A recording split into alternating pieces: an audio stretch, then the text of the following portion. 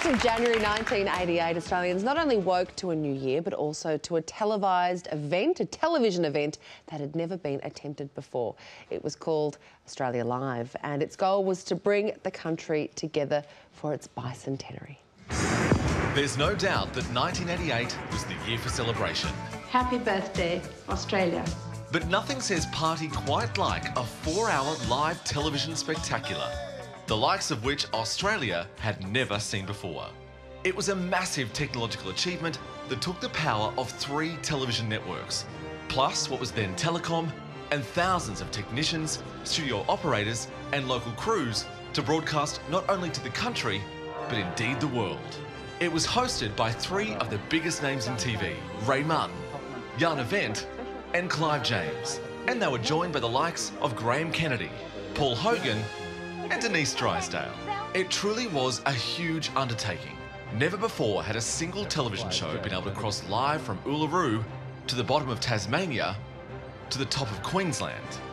In all, the telecast went live to over 70 locations to see what life was like in typical 1988 Australia. The program even crossed to Soviet cosmonauts as they orbited the Earth. Because we're on the border of the Soviet Union and Poland. Plus, the first ever live cross to Davis Base in Antarctica. Yes, good uh, afternoon, Ray, and good afternoon, Australia. Welcome to Antarctica and uh, welcome to Davis Station. But for mine, I had two favourite standout moments from the entire broadcast. The first being a cross to a lovely woman and very dear friend by the name of Ita, who was busy welcoming newborns in the top end. There's 16 little Aussie battlers here tonight, and it's about the first time they've held their baby, and it must be a wonderful experience. Lovely to hold them after just being able to watch them for the first two or three weeks. And as the telecast was scheduled to move away from Ita, her new baby friend made sure she went out with a bang. We have to leave you holding the baby. And she's wetting me at the same time, Clive. And while Ita was busy cleaning up, my other favourite moment was on his way down a mine shaft. It may be celebrating all over Australia, but down at Mount Isa, they're making a lot of noise and they're working. Jimmy, what are they actually doing? These are mining silver lead zinc here. Listen, I'm going to go over and see them now. Even back then, our Jono could make Ray laugh, and it appears that even then, he always shared a little too much. So we're not wearing any knickers at all. No knickers. And to wrap up this colossal telecast, what seemed like a government regulation for about 20 years, Julie Anthony finished the program with a powerful rendition of Advance Australia Fair.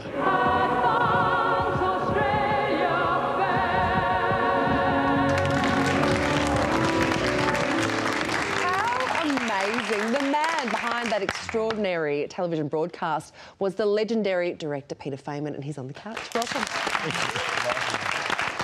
can't even get my head around it. I mean, having uh, broadcasting all over the country, that many reporters, three television stations, it must have been just such a mind boggle for you. What physically was required for that? Uh, well, I mean, we're going back to the 80s, right? So this is before the internet, so it's before emails. It's when phones were the size of bricks. Uh, in fact, a lot of the phones that we had in the outback were in cases uh, and with a with a huge battery. So, because it was such a, a, a major communications show, uh, we were sort of relatively um, uh, uh, relatively um, uh, uh, restricted by the uh, all those communications. We also required a new satellite. And AUSSAT, uh, AUSSAT had just in 1987 launched a new satellite and that enabled us to cross throughout the country. So it was really the beginning of us in the country being able to cross anywhere we wanted to cross. So we sort of stepped into an unknown world with unknown technology and with people like um, experts like Warren Berkery and Colin Stevenson, who were the top of their game in satellite technology and audio, we were able to uh, bring these uh, pictures for the first time together in four hours. It looked much better in the shorter clip. Amazing. Four hours Ita, we was a saw long we time. saw you in Darwin um, before, and John, of course, but holding that little baby who weed on you. Do you know what happened to her? No, I don't. I wish I, I, wish I did. If, Darwin, someone up there, you must know what happened. Let us know. That's a great story to tell. I weed on Ita Buttrose.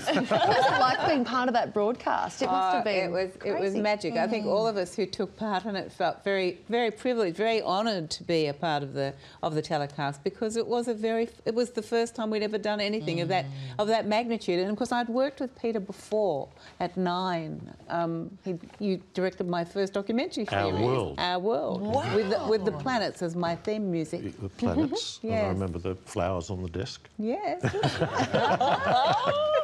And what this about is like pinch yourself. I can't believe it because I remember watching the, the telecast and just being, you know, it was extraordinary. Yes, it was, a ver- real moment. Yeah, it was very long. Well, it wasn't a moment. four hours? But, but for Australian television, like I remember being hungover and thinking, oh, this is incredible. Well, I think it had to be a hangover to watch it. I mean, it was absolutely fabulous. And when you look look at it in pieces, there was a lot of mm. poignancy in it. There were a lot of moments that were really terrific, and they were mm. scripted by the various people at the locations, weren't they? Ita? Yeah. You, you, And w- there once you some- saw what was happening. Mm, And there were some wonderful things that came out about Australia, including Colin McCulloch's overview at the end, the epilogue.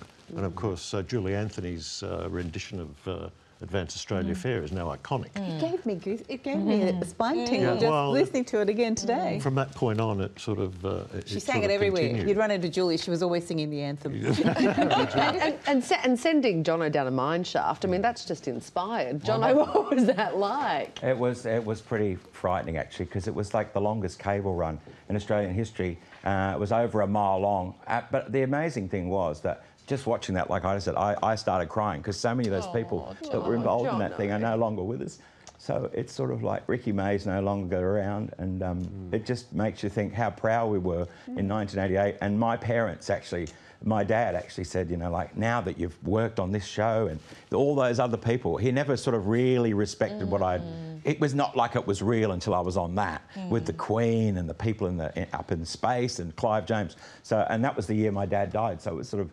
Wa- Watching that's the first time I've ever watched it since then. And, uh, was Come and give us a hug. It's Come a- come and give us it's a a happy, it's a happy give us a sad. Come on, Uncle Jono. Come and sit on the come and sit over here, Uncle. But it, it Now, is- now it, it it is- is actually not the 80s, so keep your hands to yourself, it's all not. right? it was a very emotional, a very emotional thing. That Yeah. being being on that something that that was that big. It was And just you, amazing. and you were you were TV royalty. The spirit of the year was just incredible, and the spirit of uh, that broadcast was amazing. I was actually writing something completely different uh, last up, up late last night, and looking up towns that were still boasting about the fact that they appeared. On that broadcast, they appeared on Australia Live, uh, you know, Yeah, 25, big. 27 It was a years big ago. It was a big It was a deal to be huge on deal. that telecast. It was a huge deal. Now, um, what about other things that we didn't see, Peter? Were there things that went wrong? Were there bloopers, disasters? Uh, Tell us all. well, well, I can't. Well, Daryl Somers train. I seem to remember there was a Dick Smith problem and a Daryl Somers problem. Oh. Do you? What were they? Uh, I remember that uh, some B-roll stuff had to be rolled in because they lost contact with the train. With the train, you're right.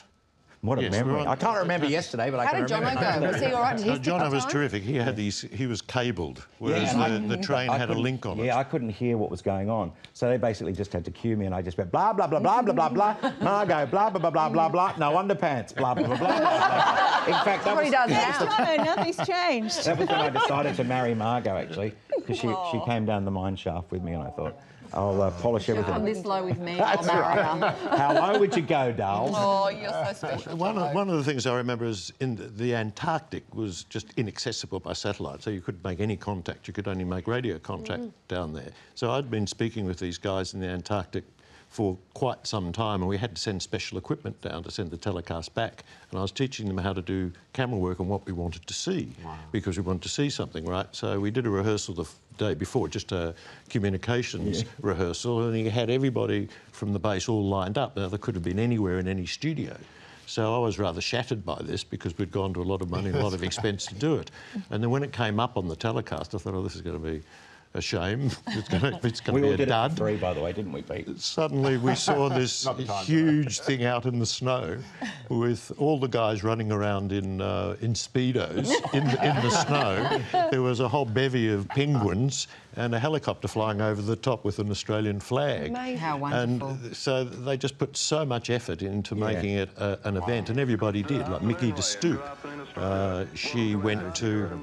Oh, It was we the first, we felt like the world was taking notice of Australia. It was our bicentennial. Everybody was involved, and any, everybody wanted to get on that show, and they worked with Peter. So mm. Peter, you've been a joy to talk to. Thanks for oh, coming in. Thank you very That was great. I learnt something. Yeah. Now, the biggest scandals of 1988 are next. Remember the Rob Lowe sex tape? Oh, my Long God. before Kim Kardashian. Yeah. Jono was in it. And it. Mark Wahlberg's brush with the the law. All that and more after this very short break.